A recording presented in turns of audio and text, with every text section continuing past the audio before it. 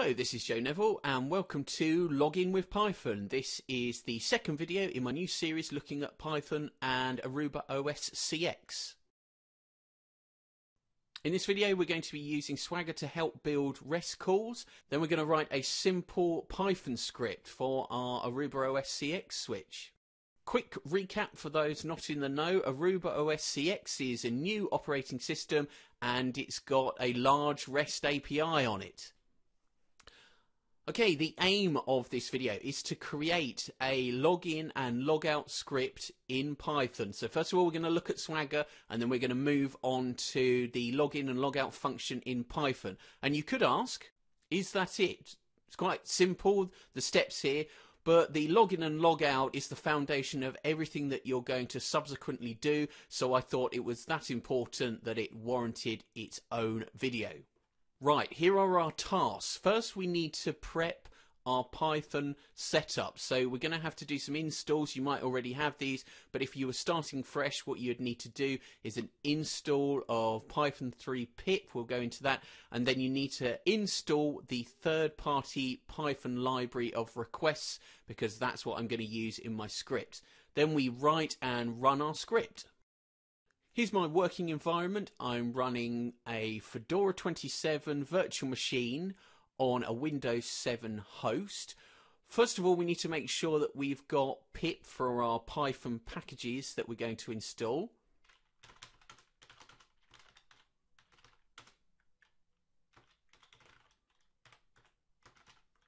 I should say that I'm using Python 3. If you're using Python 2, you really should think about migrating onto Python 3 as soon as possible. So for Fedora to install pip, it is sudo dnf install python 3-pip. If I run that, I've already got um, that installed. So I'll just show you so you can see there that it's skipping that. Now the next install is to install the requests library. So that will be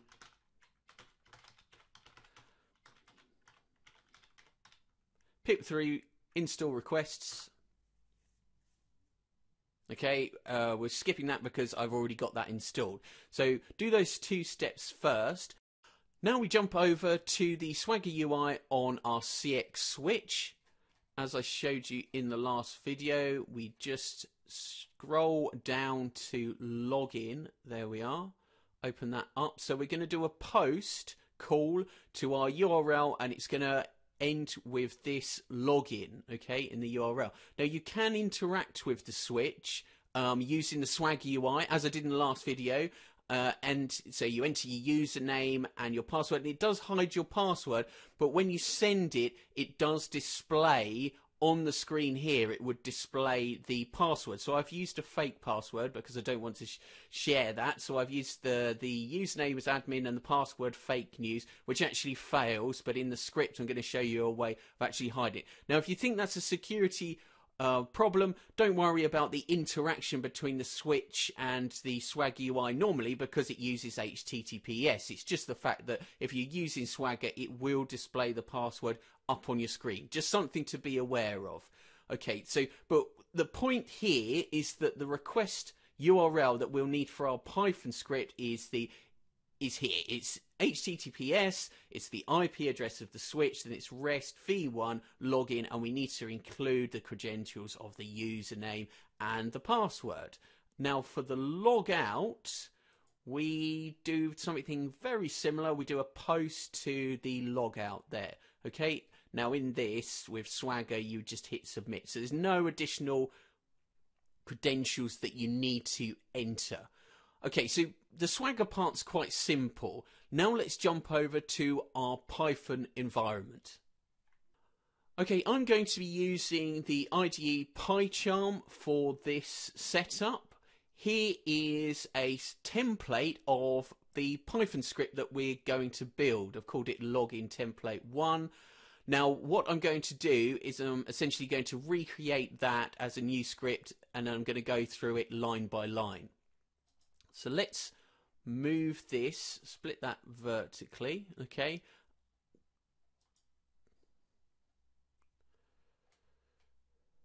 Create a new Python file. We'll call it login one. Fine. Not add it to Git right now. Okay, right. So we're, we're just going to go through uh, line by line. So first of all, we need to import. So this is the third party library that will handle our requests for us. So that's what we've installed via pip.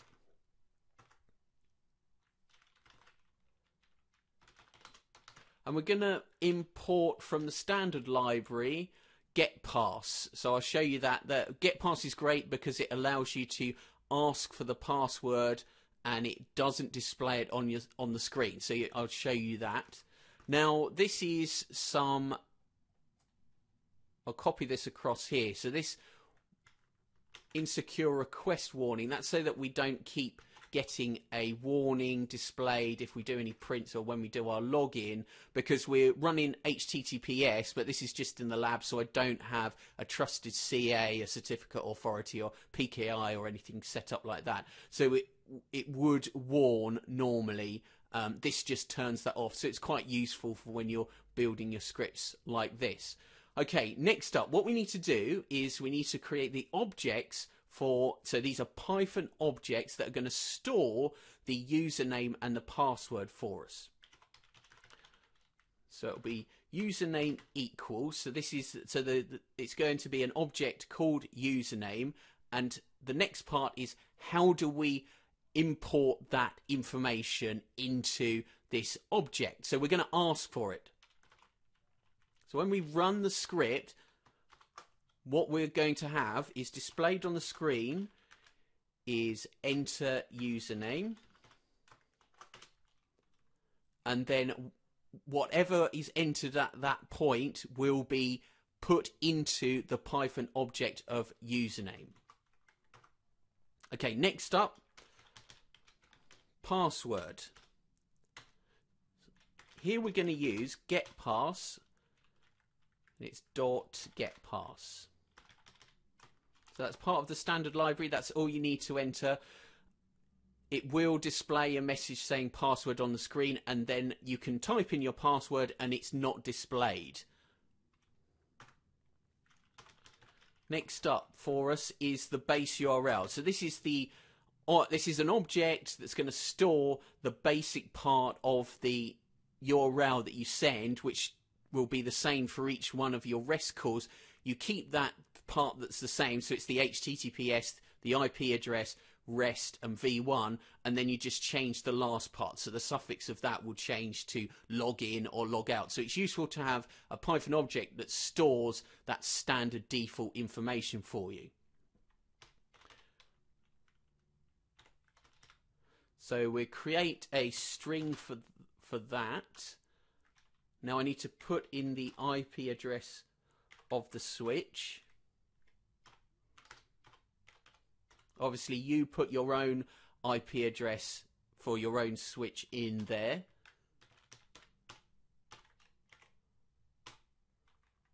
And don't forget that last forward slash there at the end of that string. Okay, good. Right, now we are going to create, because actually from the username and password Python objects, we need to actually create a dictionary that we're going to feed into our post call for our login. So I've called that creds for credentials.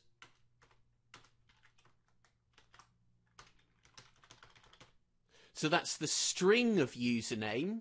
So that the string is the key. And then the value is the Python object from above. So that's a, so don't get confused here. That's a string that will become the key in the dictionary, and that username there is actually the Python object. So that information there comes at the input that whatever we enter at the enter username prompt, that will be fed into the dictionary um, as the key there. Okay, good. Now the next part, of course, is the password.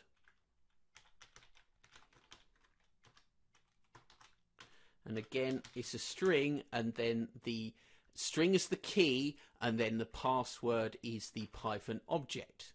Right, next up, we're going to utilize the requests library to create a session. So first of all, we need to create an object which is going to hold the session. The great thing about this is that it will store the cookie, so we don't have to do any parsing of the cookie. Now, if you're confused about this stuff, I did do a video, which I'll put a link on screen for it right now, which tells you, it shows you the difference between using the requests cookie jar method and parsing the returned cookie. Sounds confusing. I've got a whole video on it. Please watch that if you need any extra information. So for this part, it's request.session. Okay. We're going to call that. Right. Now we're on to our specific login. So we create a login object so that we can handle any responses. You can just run the post call and it will run, but it's nice to have an object which will store any responses from the switch. So I've created a Python object of login and then I'm going to use the request session to run the post for me. Then it's the base URL that we're entering and I'm just going to add the string of login. So that's the last part. So we'll get the combination of this base URL up here plus. Uh, that's why it's great to make sure that you don't forget this final um, forward slash there because then you can just type the login there. You don't have to include the login in each one, um, the the forward slash in each one of your strings here. So we just create the base URL and we which is a string, and then we add this login to the end Next up, we need to include the credentials. So that's the parameters. So parameters equals creds. So that's going to be that dictionary that's fed into there. Next up, we want to turn off verification because we're not going to, because this is HTTPS, we don't want to verify. If you forget this, it actually fails each time. So make sure you include that. And then finally, I like to include a timeout. So if we can't reach the switch, it just it doesn't just hang forever. Okay, that's our login call done. Now we're going to print to screen some useful information.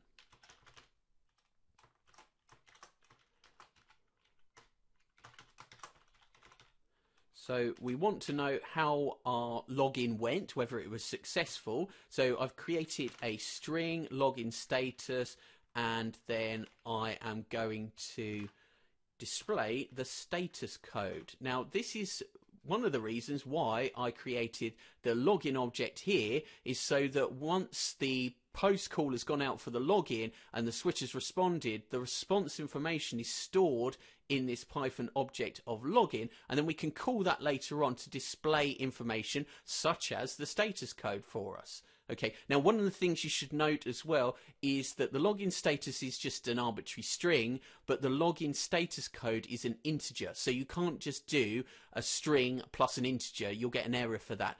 What I've done there is I've just closed off the string, put a comma, and so there'll be in, there'll be a space in between. I've included the space in the string there, and then the login status code will be displayed. Next, another string for cookie. And again, we call login and cookies.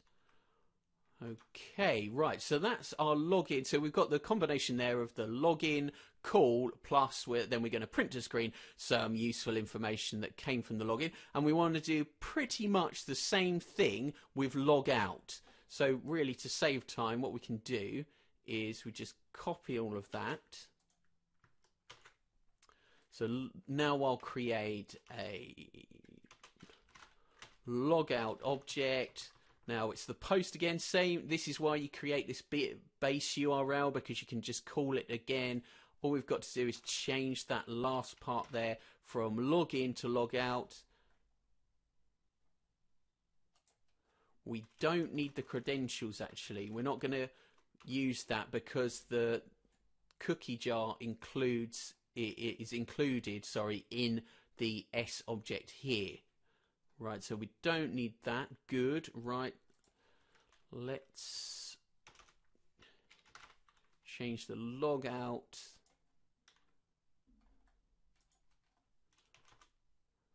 Have the log out status code and we're not going to include the cookie because we're logging out. So we'll just get rid of that to close it off. Okay, fine. So I think that looks okay. Now we've done the script, I've jumped over to my Fedora CLI, do an ls, and there you can see there's our login one Python script. So I am going to go ahead and run that. Login Python, there we are.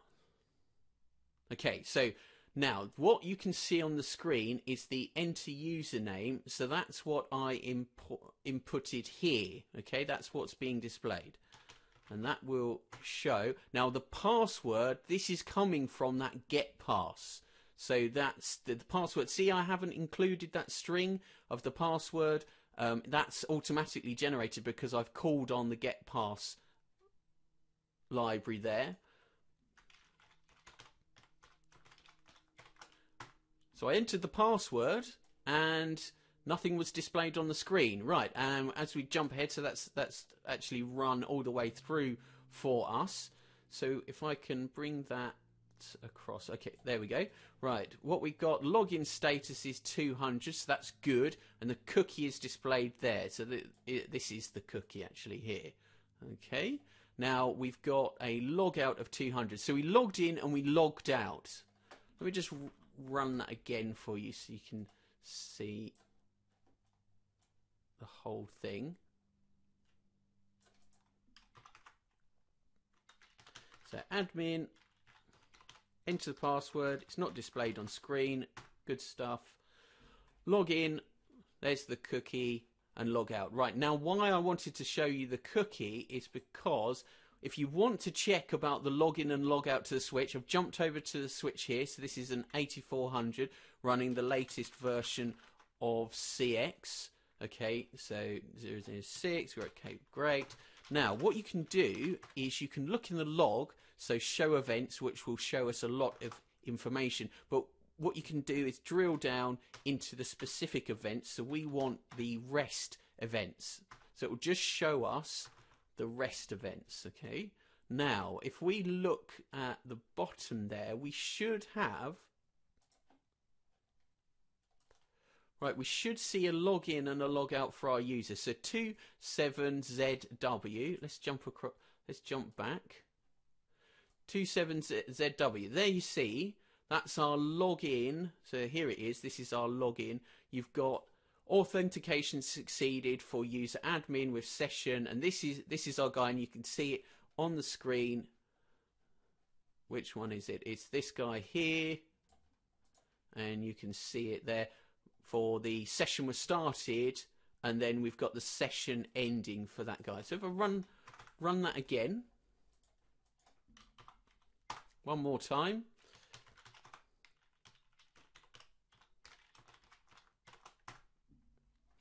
We're looking for the user. Okay, it's 7NU6Q.